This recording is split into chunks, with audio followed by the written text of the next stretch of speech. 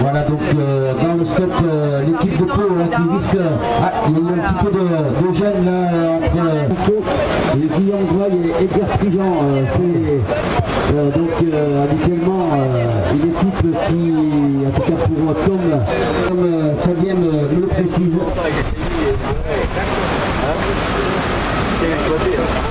Oh là là Un choc là